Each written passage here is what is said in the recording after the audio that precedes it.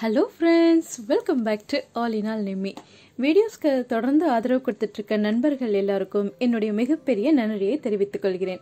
வீடியோஸை புதுசாக பார்த்துட்ருக்க நண்பர்கள் ப்ளீஸ் மறக்காமல் சப்ஸ்கிரைப் பண்ணிடுங்க மறக்காமல் அந்த பெல் பட்டனையும் கிளிக் பண்ணிடுங்க வாங்க இன்றைய வீடியோக்குள்ளே போகலாம்.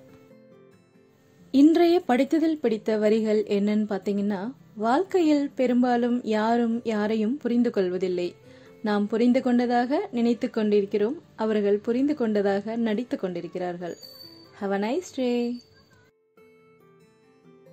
friends நாம் இன்னைக்கு என்ன பார்க்க போறோம்னு பார்த்தீங்கன்னா கருப்பு உளுந்தை பற்றியும் அதில் உள்ள மெடிக்கேட்டட் பெனிஃபிட்ஸ் பற்றியும் தான் நாம் பார்க்க போகிறோம் ஸோ அதில் எதில் எந்த மாதிரியெல்லாம் ரெசிபிஸ் செஞ்சு சாப்பிடலாம் அப்படின்றத பற்றியும் பார்க்க போகிறோம் வீடியோஸ்க்கு கடைசியில் பார்த்தீங்கன்னா அதில் நாம் இட்லி பொடி எப்படி ரெடி பண்ணுறதை பற்றியும் பார்க்க போகிறோம் வாங்க இன்றைய வீடியோக்குள்ளே போகலாம். கருப்பு உளுந்தில் பார்த்தீங்கன்னா ஏகப்பட்ட மருத்துவ குணங்கள் இருக்குது இதை வந்து உணவில் வந்து இரும்பு சத்து குறைவதால் ஏற்படும் குழந்தைகளுக்கு ஏற்படுற அனீமியா எனப்படும் இரத்த சோக நோயை வந்து இந்த கருப்பு உளுந்து சாப்பிடுறதுனால சீக்கிரமாக நிவாரணம் கிடைக்கும். கருப்பு உளுந்தில் பார்த்தீங்கன்னா நார் சத்து வந்து ரொம்ப அதிகமாக இருக்குது அப்படின்றதுனால வயிறு சம்பந்தமான செரிமான பிரச்சனைகளை வந்து இது தீர்க்கறதுக்கான வழி செய்யுது. நெக்ஸ்ட் பார்த்தீங்கன்னா கருப்பு உளுந்தில் வந்து கால்சியம் பாஸ்பரஸ் பொட்டாசியம் இரும்பு சத்துலாம் அதிகம் இருப்பதால் கருப்பு உளுந்தினால் செய்யப்பட்ட உணவு வகைகளை குழந்தைகளுக்கு பெரியவங்களுக்கு எல்லாருக்கும் அடிக்கடி உணவில் சேர்த்து கொடுக்கறது மூலமாக நிறைய நமக்கு பெனிஃபிட்ஸ் கிடைக்கும். எலும்புகள் மூட்டு வலி இந்த மாதிரி பிரச்சனைகள்லாம் கூட கண்டிப்பாக தீரும். உடலில் வந்து சர்க்கரையின் அளவை வந்து இதை கட்டுக்குள்ளே வைக்கிறது. ஏன்னா வந்து நார்ச்சத்து அதிகமாக இருக்குது அப்படின்றதுனால சக்கரை நோயாளிகளுக்கான ஒரு சிறந்த உணவுப் பொருளாக இது இருக்குது. குழந்தைகளுக்கு அடிக்கடி உணவில் சேர்த்துக்கொள்வதன் மூலம் நோய் எதிர்ப்பு சக்தி வந்து ரொம்ப அதிகமாக கிடைக்குது. நெக்ஸ்ட்டு பார்த்திங்கன்னா வளர் இளம் பருவ பெண்களுக்கெல்லாம் வந்து இது ரொம்ப முக்கியமான ஒரு உணவு. இதை உணவில் சேர்த்துக்கிறதன் மூலமாக வந்து இந்த மாதவிடாய் பிரச்சனைகள் கர்ப்பப்பை சம்மந்தமான பிரச்சனைகள் எல்லாம் இது தீக்குது. ஸோ கண்டிப்பாக நம்ம குழந்தைங்கள்லேருந்து பெரியவங்க வரைக்கும் எல்லாருக்குமே இதை வந்து நம்ம உணவில் சேர்த்துக்கலாம். இதை வந்து வடையாக செஞ்சு சாப்பிடலாம். நெக்ஸ்ட்டு பார்த்தீங்கன்னா கஞ்சியாக செஞ்சு சாப்பிடலாம். பவுட்ரு பண்ணி வச்சுட்டு கஞ்சி மாதிரி ரெடி பண்ணி குழந்தைங்களுக்கு கொடுக்கலாம். இல்லை வந்து நல்லா அதை வந்து உளுந்த வறுத்துட்டு நம்ம ரைஸோட வச்சு சேர்த்து உளுந்து சாதமாக செஞ்சு கொடுக்கலாம். இல்லை நல்லா அதை பவுடர் பண்ணிவிட்டு அது கூட அரிசி மாவு வெல்லம் இதெல்லாம் சேர்த்து உருண்டை பண்ணி கொடுக்கலாம். களி செஞ்சு கொடுக்கலாம். நெக்ஸ்ட்டு வந்து இதை முளைக்கட்டி வச்சு முளை முளைக்கட்டிய பயிராக கொடுக்கலாம். தோசை பண்ணி கொடுக்கலாம். ஸோ இந்த மாதிரி நிறைய ரெசிபிஸ் இருக்குது ஃப்ரெண்ட்ஸ் நிறைய பெனிஃபிட்ஸ் இருக்குது ஸோ கண்டிப்பாக குழந்தைங்களுக்கு வாரத்தில் ஒன்ஸ் ஆர் டுவைஸ் இதை வந்து செஞ்சு கொடுங்க. ரொம்ப ஹெல்த்தியானது நமக்கு வந்து ஸ்ட்ரென்த்து கொடுக்கும்.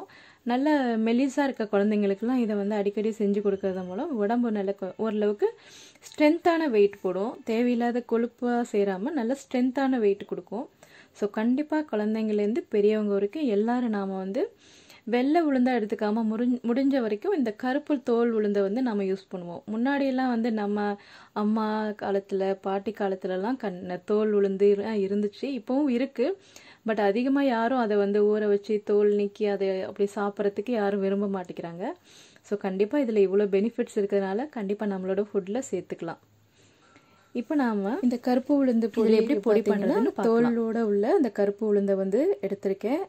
நார்மலாக எப்பயும் போல தான் ரெண்டு கப் உளுந்து எடுத்துக்கிட்டிங்கன்னா ஒரு கப் கடலைப்பருப்பு நம்ம சேர்த்துக்கிறோம். ஸோ இப்போ ரெண்டு கப் உளுந்தை வந்து நல்லா வந்து வானலில் போட்டு நல்லா வறுத்து எடுத்துக்கோங்க. சிம்லேயே வச்சு வத வணக்குனீங்க அப்படின்னா ஏன்னா இது தோலோடு இருக்கிறதுனால அதிகமாக சிம்மில் அதிகமான சிம்மில் வச்சு இது பண்ணிங்க அப்படின்னா வந்து அதிகமான ஃப்ளேமில் இது பண்ணிங்கன்னா கருகிறதுக்கான வாய்ப்பு இருக்குது அதனால் வந்து நம்ம மெலிசாவே வச்சு நல்லா இதை வறுத்து எடுத்துக்கலாம்.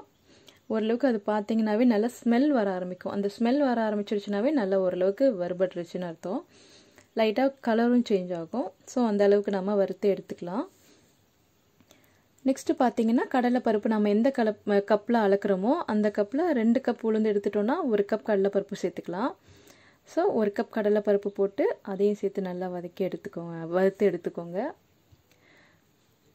அந்த கடலைப்பருப்பு நல்லா வறுத்ததுக்கப்புறம் அந்த நல்லா வறுபட்டுச்சுனாவே பார்த்தீங்கன்னா உங்களுக்கு நல்லா வாசமாக வரும். அதே மாதிரி அது நல்லா தனித்தனியாக டக்குன்னு அந்த பருப்புலாம் பார்த்தீங்கன்னா இப்போ நம்ம பச்சையாக வதக்கும் போ வறுக்க வதக்கிறதுக்கும் நல்லா அது வறுபட்டவனாக வறுக்கிறதுக்கும் நல்லா உங்களுக்கு டிஃப்ரெண்ட் தெரியும். பொல பொலன்னு நல்லா கை வாட்டம் வரும். ஸோ இது வந்து நல்லா ஓரளவுக்கு வந்தீங்கன்னா நம்ம காரத்துக்கு ஏற்ற மாதிரி மிளகா சேர்த்துக்கோங்க. நான் வந்து ஒரு எ- எட்டுலேருந்து பத்து மிளகாய் வரைக்கும் சேர்த்துருக்கேன். ஸோ அதோட நல்லா மிளகாயும் போட்டு நல்லா வறுத்து எடுத்துட்டு நெக்ஸ்ட் அது கூட வந்து ஒரு பத்து பல்லு குட்டி குட்டியாக இருக்க பூண்டு நல்லா சேர்த்துக்கோங்க. ஏன்னா அது வந்து நல்லா அரைப்படுறதுக்கு நல்லாயிருக்கும். ஸோ அதையும் சேர்த்துக்கலாம். நெக்ஸ்ட் வந்து அது கூட நல்லா ஃப்ரெஷ்ஷான கருவேப்பிலை வந்து கொஞ்சம் ஒரு கைப்பிடி போட்டிருக்கேன்.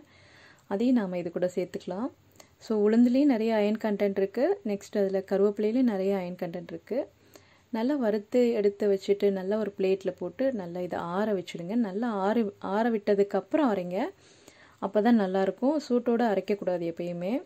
ஸோ நல்லா ஆற விட்டுட்டு அரைச்சி எடுத்துட்டிங்கன்னா அது கூட சாரி அது கூட வந்து இப்போ நாம் அரைச்ச இந்த மிக்சிங் இந்த வதக்குன அந்த மிக்சிங்கோட வந்து உப்பு போட்டுக்கோங்க தேவையான அளவுக்கு உப்பு.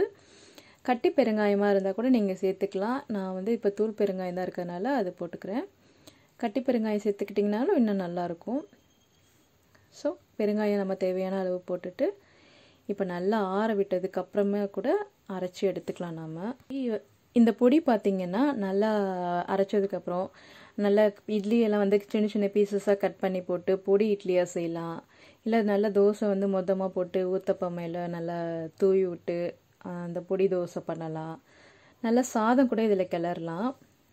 நல்லா வெங்காயம் வந்து சின்ன சின்ன பீசஸாக போட்டு எண்ணெயில் தாளிச்சு விட்டுட்டு சாதம் போட்டு நல்லா மிக்ஸ் பண்ணி இந்த வீடியோஸ்க்கு லைக் பண்ணுங்க கமெண்ட் பண்ணுங்க. மறக்காம உங்க ஃப்ரெண்ட்ஸுங்களுக்கும் ஷேர் பண்ணுங்க. பாய்